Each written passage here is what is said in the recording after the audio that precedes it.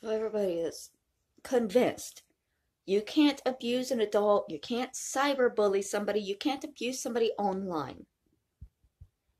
You are overlooking the one major factor that changes my situation from the thousands of other cyberbullying situations out there. And that factor is my aunt.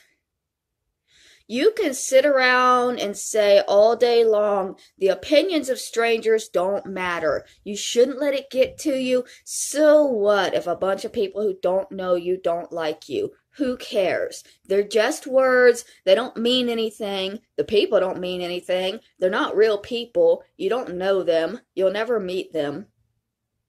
Okay. My aunt, she's a real person. She's a person I've met. She's a person I might actually meet again in my life. She's related to me. These are reasons why her words would be a little bit more hurtful than yours. And what are her words? For the past year, not just not just in comments, not just in words that I could put my own inflection on and and turn into meanness. Her own words in her own videos if you'll go and listen to the consistent belittling degrading, diminishing, trivializing. She has flat out said that my tears aren't real, but her family's are. And still nobody can see the narcissistic abuse that that, that statement is. That very statement is the most narcissistic fucking thing because everybody's tears are real. Everybody's pain is real. And if you're looking at another person who you've caused pain to and thinking they're just faking it,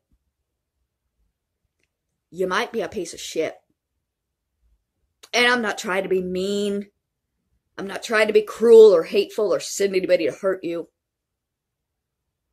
But if I saw somebody in public belittling and harassing a mentally unwell person, just repeatedly telling them they were garbage, repeatedly telling them they were never going to be loved, never going to be released, never going to be free, never going to be anything.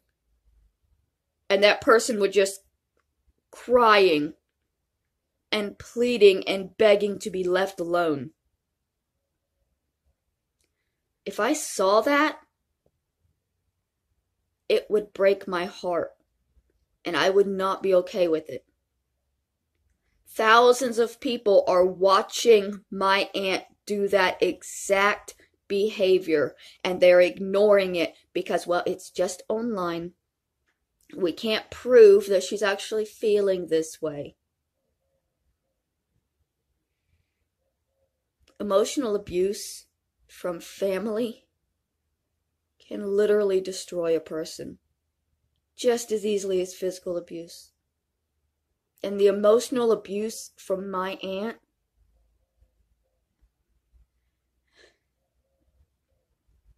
if y'all had a therapist or a psychologist watch my aunt's video and told her that the per- told that person that the, the, the, the person that my aunt was referencing in all of these horrible things was her own blood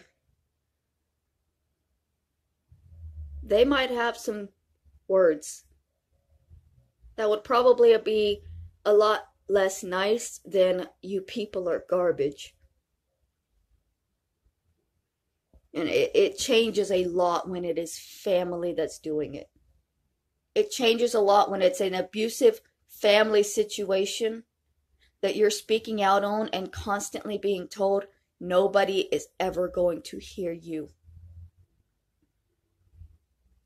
Because as a child, when you're being abused, there is this constant thought in your head that even if you speak out, nobody is going to believe you because you're just a child.